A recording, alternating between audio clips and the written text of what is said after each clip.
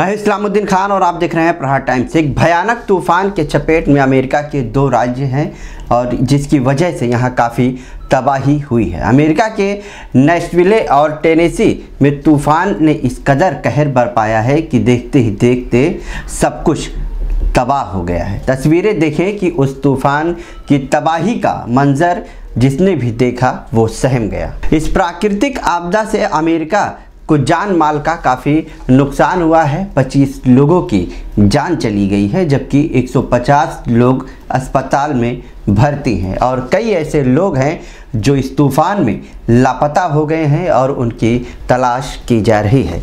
तूफ़ान में करीब 50 इमारतें मलबे में तब्दील हो गए हैं। बिजली के खंभे और पेड़ रास्तों पर गिरे पड़े हुए हैं। इस प्राकृतिक आपदा से लोगों के मकान तो तबाह हो गए हैं। हालाँकि कुछ बहुत से लोग तूफ़ान आने से पहले ही अपने घरों को छोड़ चुके थे और अमेरिका के नेशनल वेदर सर्विस ने जानकारी भी दी थी, ये बहुत ही ख़तरनाक तूफ़ान है और लोगों को खुद ही अपनी सुरक्षा करनी होगी। बहरहाल, राहत बचाव कार्य जारी है और ये भी जानकारी सामने आ रही है कि तूफ़ान ग्रस्त इलाकों में अमेरिका के राष्ट्रपति डोनाल्ड ट्रंप खुद दौरा कर हालात का जायज़ा लेंगे। तो तमाम खबरों को जानने के लिए देखते रहिए प्रहार टाइम्स।